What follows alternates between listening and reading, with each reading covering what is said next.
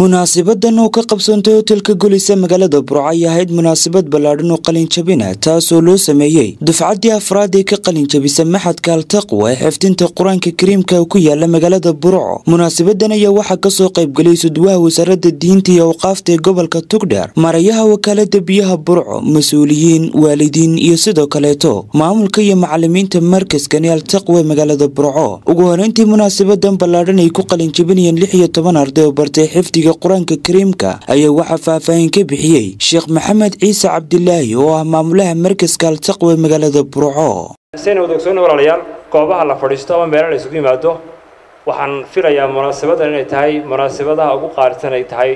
Waxaanu bilownay madrasada ay bilaabantay sagaal sano imika meelahaas baan filayaa inay waxaa weeye shaqaynaysay.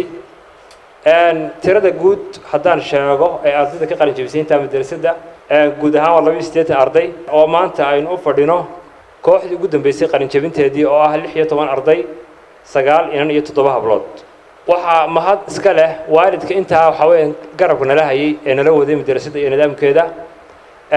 Waxay ka kooban tahay madrasaddu qaybaha maalintii iyo habeenkii waxaa weeyaan waa la wada dhigtaa. Waxyaabaha noo qorshaysan biidni illaahi waxaa ka mid ah inaanu soo kordhinno sanadkan cusub. Qayb rowda ah oo ardada yar kejiga lagu tababarayo iyo qayb boodhina oo ardayda waxaweyaan la haynayo lix subaxnimo ilaa sideedda fiidnimo qorshaha sanadkan bay nagu jirtaa biidni illahi sida ugu dhaqsa badan baanu bilaabi doonaa xubno kala duwan oo ka mid ah ardaydii ka qalin jabisay markaskani altaqwa ee magaalada burco ayaa iyaguna halkaasi kusoo bandhigay cilmiga ay ka barteen markaskani وعباد الرحمن الذين يمشون على الأرض هونا وإذا خاطبهم الجاهلون قالوا سلاما والذين يبيتون لربهم سجدا وقياما والذين يقولون ربنا اصرف عنا عذاب جهنم إن عذابها كان غراما. أشكر جميعا حاضرين إلينا حفلة مدرستنا العزيزة التقوى ونشكر كذلك معلمنا الكبير محمد بن عيسى عبد الله. وإذا نشكره فإننا نوصي طلاب الذين أتموا القرآن الكريم بالإجتهاد في القرآن. وملازمه وحفظه ومثابرة عليه. والله ولي والتوفيق. يا حريصا على الأموال تجمعها نسيت أن سرور المال أحسان سل الفؤاد عن الدنيا وسينتها وصفها كدر والوصل جران. وارع السمع كامثالا نفصلها.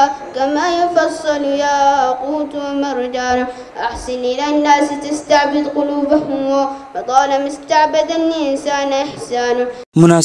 ballaadhan ee loo sameeyey maamuuska iyo koruqaadidda ardaydan kala duwan ee ka qalin jabisay xifdiga qur'aanka kariimka ayaa waxaa sidoo kaleeto halkaasi hadallo kala duwan ka soo jeediyey ustaad cali mahdi maxamed axmed oo ka mida waalidiinta dugsigani maarayaha wakaalada biyaha burco iyo sidoo kaleeto suduwaha wasaaradda diinta iyo awqaafta gobolka tugdher waxaanay dhammaantoodba hambaliyihii bogaadinu direen ardaydan ay qalin jabisay. Iyagoona markaska altaqwa ee xifdinta qur'aanka si weyn ugu ammaanay dadaalada uu geliyo qur'aanka iyo faafinta dacwadda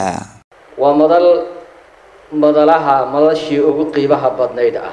Waxaan tahniyad salaan iyo bogaadin aan iyadana u dirayaa ardaydan quruxda badan ee ubaxa ah oo aan odhanayo kelmad yar oo kooban. Aad baad insha allah jazaakum allahu khayran. Qur'aankii waa dhammaysteen waana xifdideen. Laakiin rasuulku sala allahu calayhi wasalam waxau inoo tilmaamay haynta qur'aanku inay adag tahay uu ka fakasho badan yahay.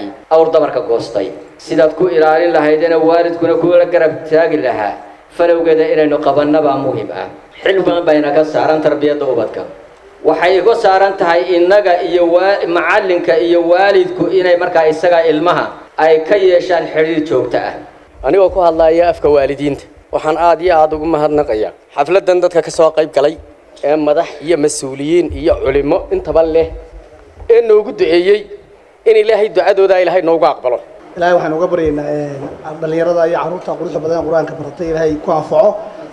Ilaahay waalidkii la soo garab galay iyo macallimiintii iyo dhammaan cid kastoo ka qayb qaadatana ilaahay ajar iyo xasanaad ka siiyo.